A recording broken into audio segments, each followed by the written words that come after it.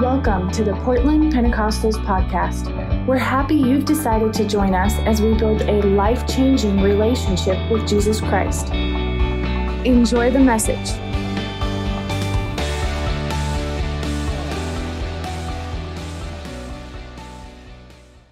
Hallelujah. I'm so thankful for the miracle working power of the God that we serve. Hallelujah. I'm going to take our attention today to the book of Hebrews, chapter number two, and read a short passage of scripture. In Hebrews chapter 2, verse 14, speaking of Jesus and the relationship between Jesus and humanity, it says, Inasmuch as the children have partaken of flesh and blood, he, talking about Jesus, he himself likewise shared in the same, that through death he might destroy him who had power of death, that is the devil, and release those who through fear of death were all their lifetime subject to bondage.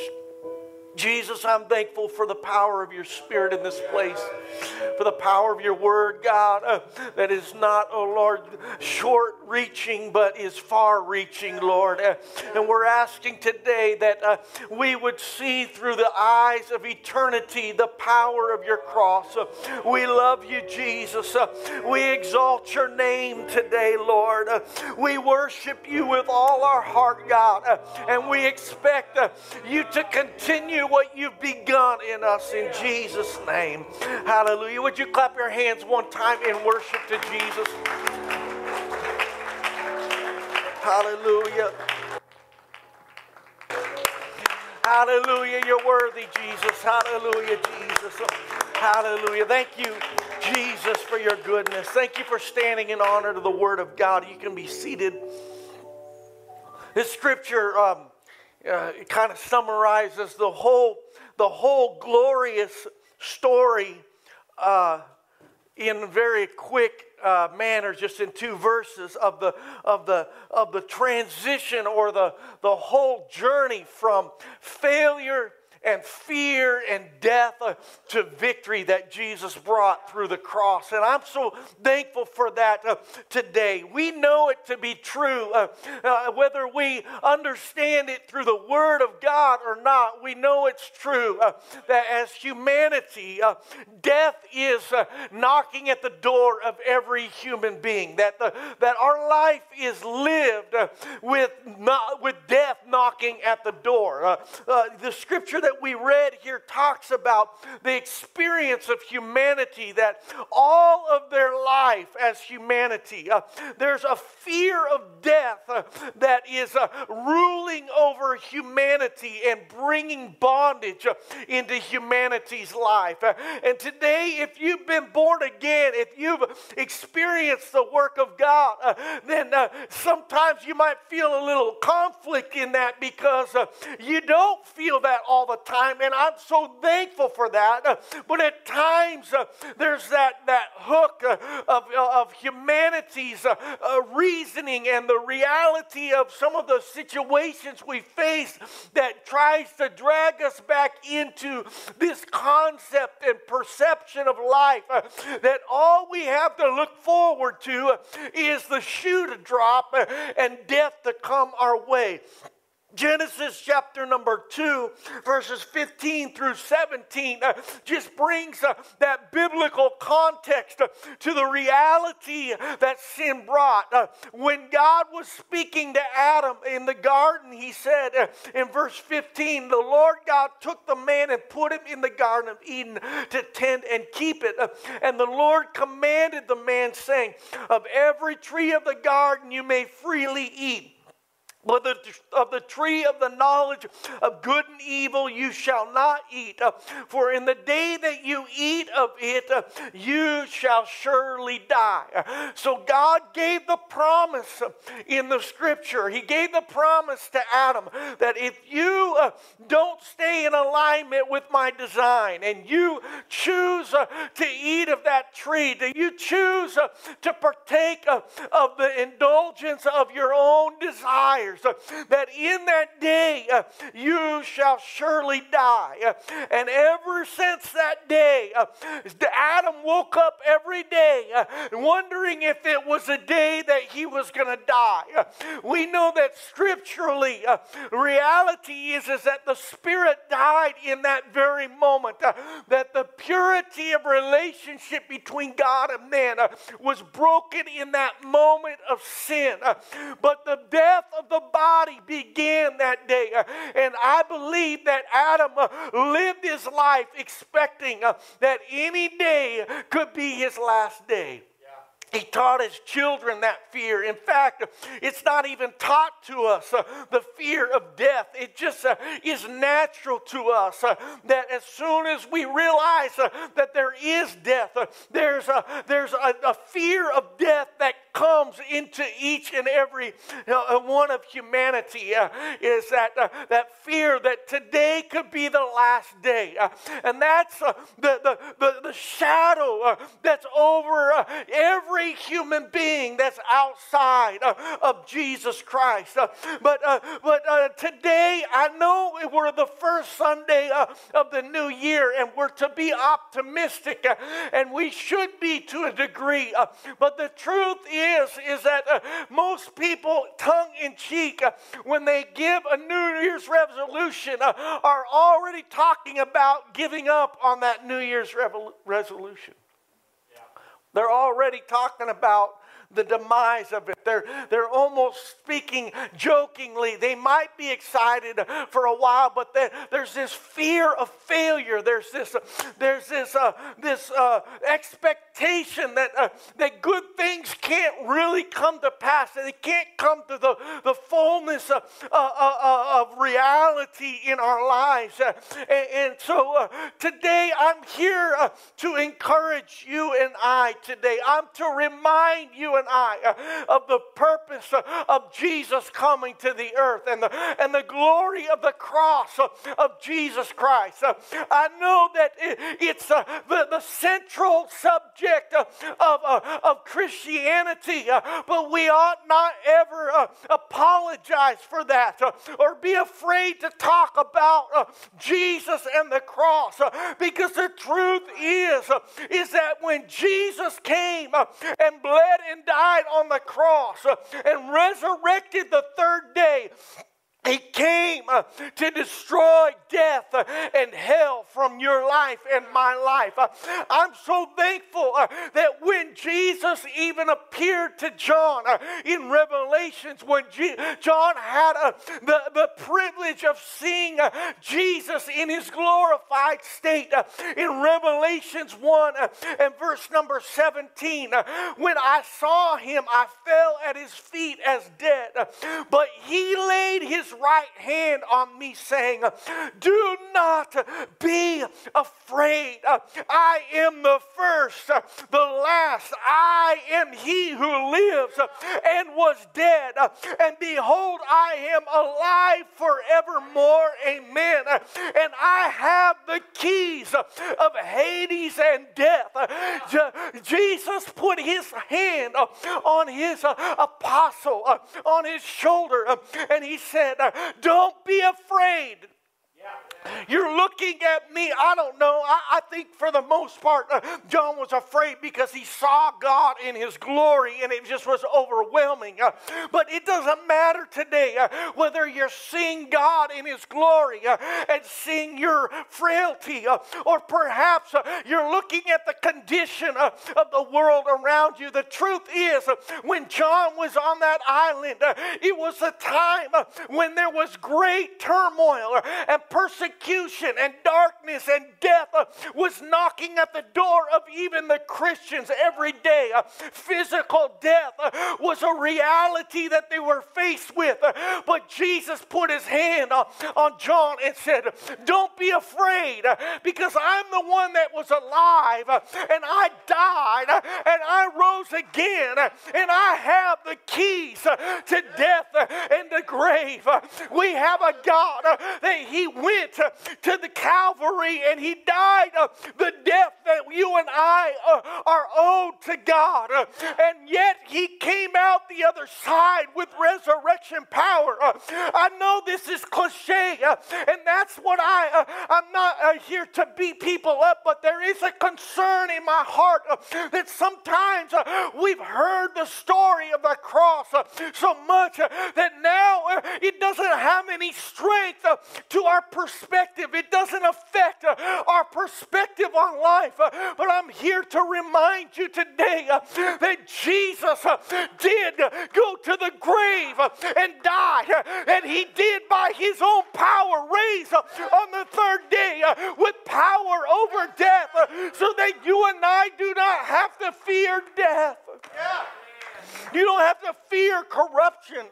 When sin came to the world, uh, yes, it brought death, uh, but it brought with it also corruption. Yeah. Corruption really leads to death. But so uh, all of the unraveling that happens, uh, whether it's your physical body, you know, uh, I've seen all the, you know, for some reason it seems like uh, uh, everybody uh, is trying to, everybody's laughing about, de- you know, getting old. And that's probably the best way to look at it so that you don't get depressed. You know? but, you know, they got, the, I've heard, seen like people saying, yeah, I went to the doctor. And after I'm 40, the doctor doesn't even try to fix you anymore. He just says, yeah, that happens when you get old. You know? yeah, your ankle's just wearing out. You mean I injured it? No, you didn't injure it. It's just wearing out. It's just getting old you know, and because corruption is that unraveling and deteriorating, uh, yes, of our bodies. Uh, I want to emphasize that our bodies today, uh, but also of relationships uh, outside of the touch of, the cross. Uh, relationships unravel, uh, jobs become mundane and boring, and I know they do even in Jesus to a degree, but God wants to transition the effect of the corruption on our perception of life. And that's what Jesus really came to do. He came to bring about uh, uh, freedom uh, uh, from corruption uh, and from death. Uh, and I'm so thankful for that. Uh, listen to this. This is uh, we've got to understand the power of the cross of Jesus Christ. everything that unravels, everything that breaks, everything that gets sick, everything that dies. when Jesus Christ went to the cross, he went to the cross so that under underneath of his cross uh, could come the victory, uh, the reversing of the effect of sin, uh, a reviving, uh, a resurrection, uh, a hope where there was death. Uh, that's what Jesus came to do. Isaiah chapter number 53. I wish I could read the whole chapter to you today, but verses 5 and 6. Listen to what the cross did. But he was wounded for our transgressions. He was bruised for our iniquities. The chastisement of our peace was upon him, and by his stripes we are healed. All we like sheep have gone astray. We've turned everyone to his own way, and the Lord has laid on him the iniquity of us all. What a wonderful, beautiful picture that Jesus, when he went to that cross, yes, he went to the cross cross uh, with you and I in mind. Uh, and he was wounded uh, when they pierced his side, when they when they took the cat of nine tails and put it around his back. What was it for? It was for our sin and for our healing, for the healing of your body, for the healing of your mind. That's the chastisement of, our peace was upon him. What's he talking about there? He's talking about uh, bringing, uh, uh, we sing the song uh, about mental health being restored. Uh, that was a short list uh, of what Jesus came to do. Uh, that wasn't the long list. Uh, that was his short list. Uh, but what did Jesus' cross come to do? It came to provide peace of mind into your heart and into your spirit that you are not headed for destruction when you identify with the cross. That it's not the end of the story, and that even if your story has been riddled uh, with failures and frustrations and pain, uh, that that is not the future. Uh, that might be part of your path, but that is not your destination because the cross came to bring healing.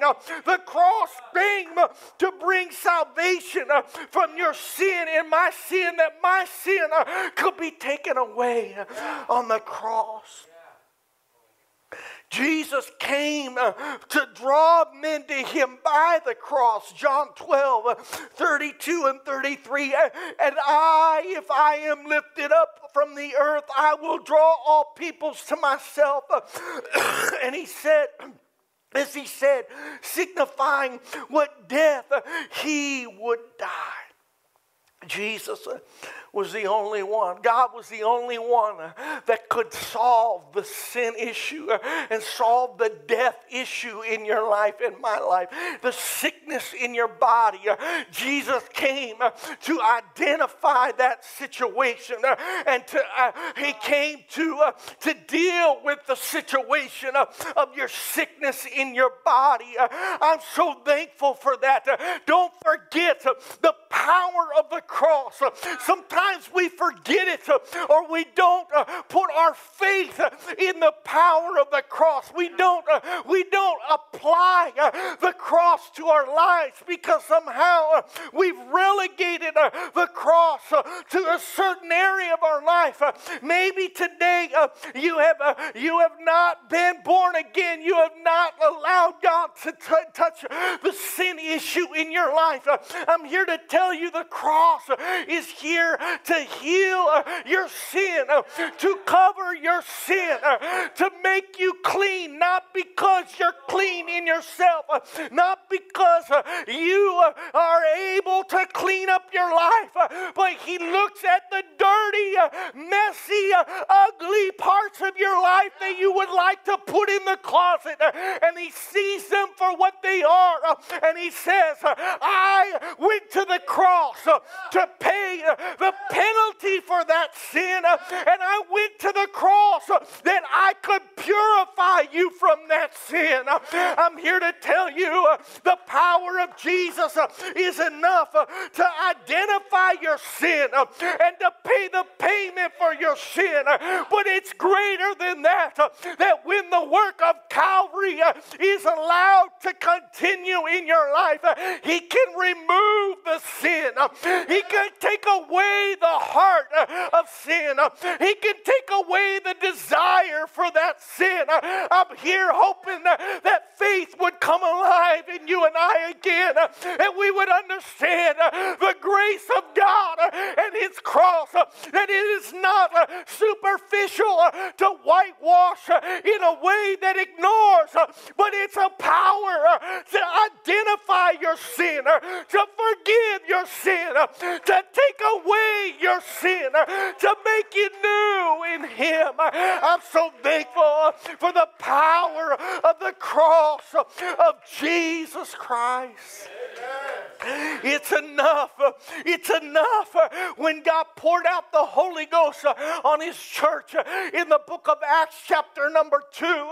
We go there very often because we know that in that new birth that happened in the church comes the activation of all that Jesus did uh, on the cross. Uh, and as Peter was preaching uh, about the outpouring of the Spirit, and he quoted the prophet of old uh, about the promise of the outpouring.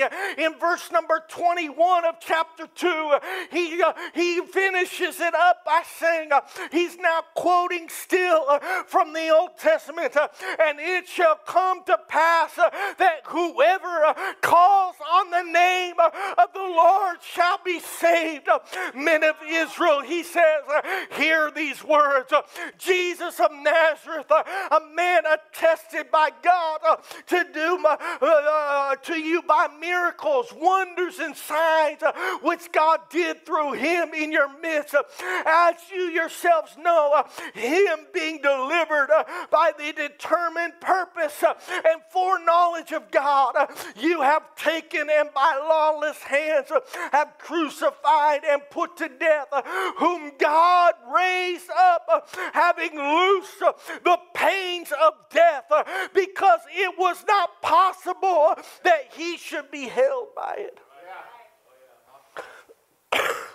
the good news uh, is that Jesus uh, was, uh, God predetermined uh, before the foundation of the world, before sin ever uh, was entered into humanity's heart. Uh, he said, I'm going to come and I'm going to bleed and die. I'm going to put myself at the, into the hands of sinners and let them do what they think is best, Well, not knowing that as they put me to death, in their anger and in their hatred uh, and in their resistance, uh, it will allow me to come underneath the power of death, uh, wrestle with death, and come out the other side with the power over death.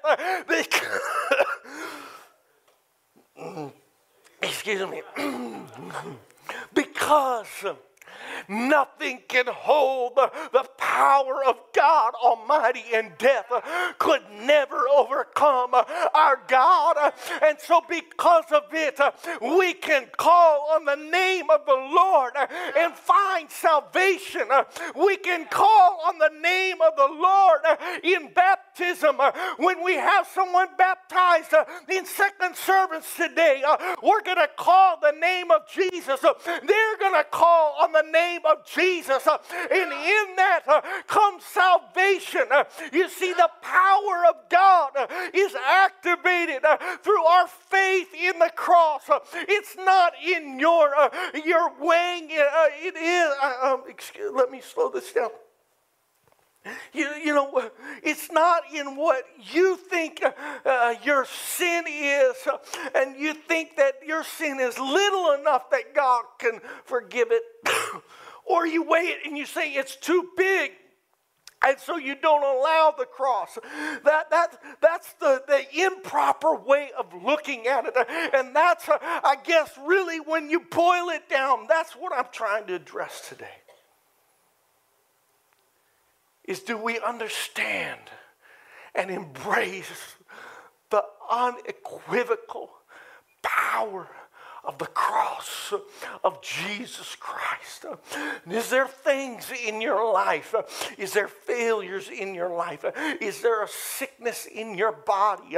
Is there a dysfunction in your family that you put on the scale and you put the cross on the other and you feel that that situation in your life is of greater weight than the cross? I'm here to challenge you today that the only thing between between you uh, and your deliverance, uh, between you and forgiveness, uh, between you and healing in your body uh, is whether you see the cross uh, for who it is or what it is, uh, that you understand that the cross of Jesus Christ was measured out in advance by God and it was considered sufficient for every sin. It was considered sufficient for for every sickness. It was considered sufficient for every weakness of mind, every depression, every failure that you have. God took, He did not look for the worst sin in the world and say, My cross is bigger than that. He took the worst to the smallest of every individual, put them all together, and dropped them on the scale.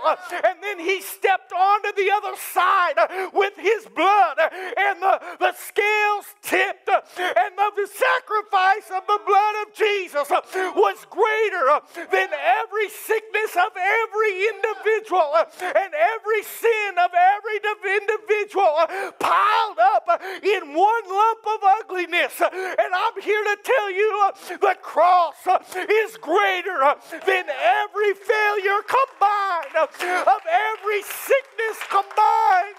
We have a God whose cross is greater.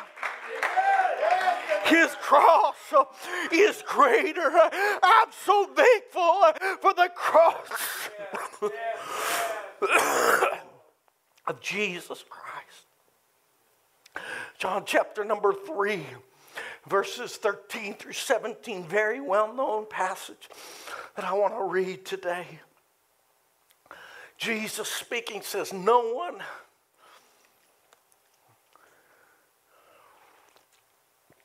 No one has ascended to heaven, but he who came down from heaven, that is the Son of Man who is in heaven.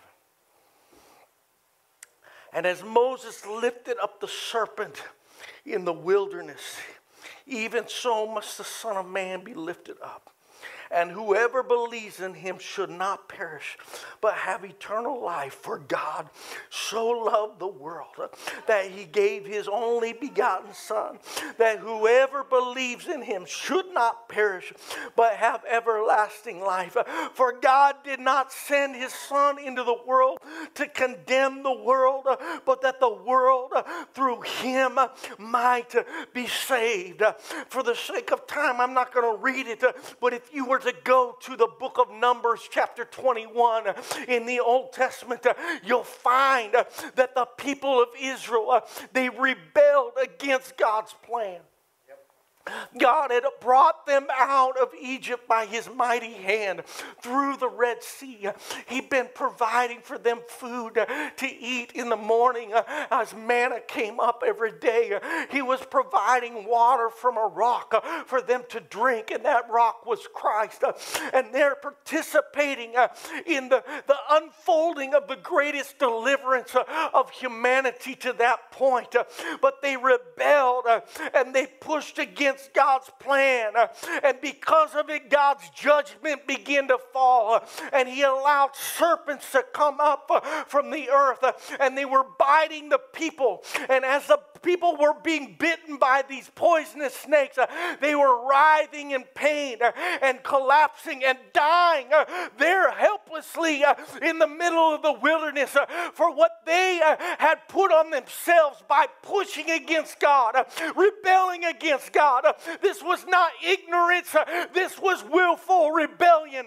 And because of it, there was judgment coming, and those snakes were coming and they would bite those people and they would die and they cried out to Moses, Go to God. We need his forgiveness. We need his deliverance. And as Moses went before God's presence, God instructed him and he, he built a, a staff with a, a serpent on it that was bronze. That's what Jesus was talking about in the passage we just read.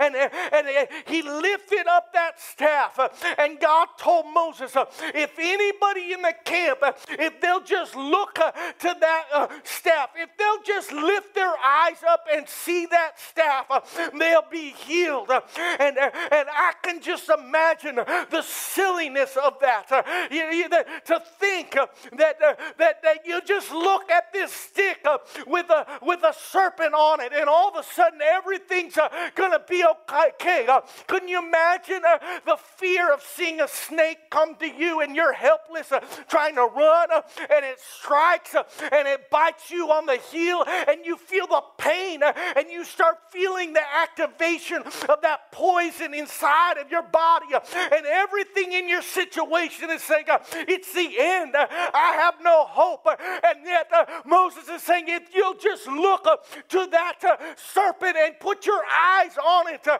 you'll be healed uh, but uh, but my, my kids uh, they, they they're in rebellion uh, just look to that staff. But but but I got pain in my body.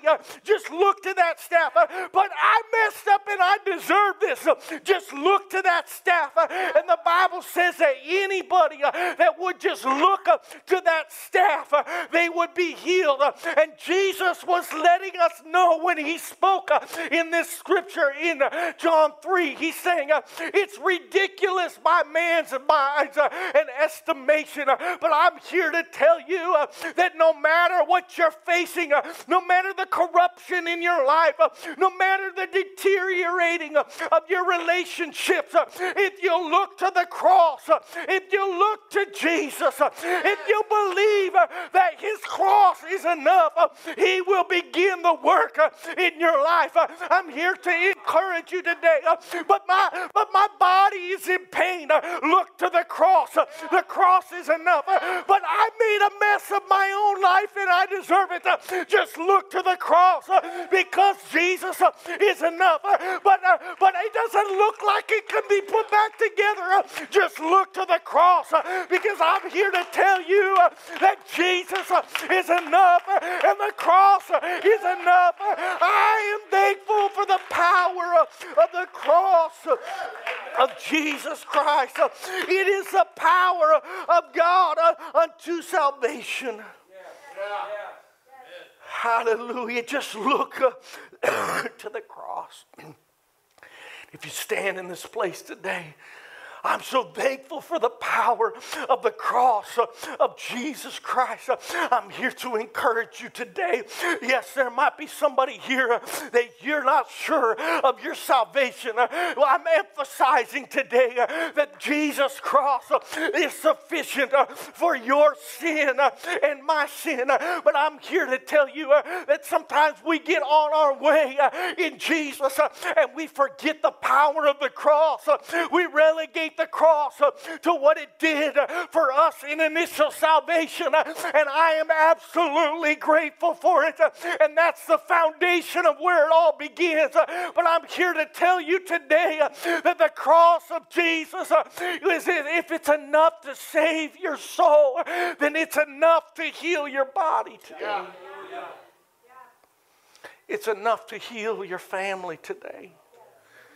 I'm not saying that I know how the road's going to unfold for it to happen. Uh, that's the problem sometimes uh, is we got we feel like we got to know uh, the whole pathway and who's got to say what and who's going to have to uh, concede in this area and that area. And so we take all of that and by the time we start thinking that through, we've made this uh, this uh, situation that is struggle and is important, but we've made it so big that we look at that and we look at the cross as some small, uh, insignificant side note to our life, uh, and we forget that the cross of Jesus Christ was big enough for your failures, that the cross of Jesus Christ is enough uh, to begin uh, a work in your life uh, that has no end. The cross of Jesus Christ is enough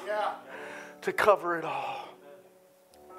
Every sickness cannot, no, there's not one sickness. I feel it in my spirit today. I'm here to tell you if you've been settling uh, for a sickness or a disease in your body, uh, I'm not here to, to accuse people, I'm not here to shame you uh, at all. uh, but if you've been saying uh, it's too unimportant uh, for me to talk to God about, or it's too big for God, or how, I don't care how you've, how you've somehow cornered it in your brain to be uh, uh, irrelevant to the cross uh, and unavailable to uh, the grace uh, of the cross. I'm here to tell you today that if we can look to the cross uh, and we can see the cross uh, for what it really is, uh, it doesn't matter how big uh, or how small uh, what you got in your life is. uh, The cross uh, is greater. uh, The cross uh, is greater. uh, It's enough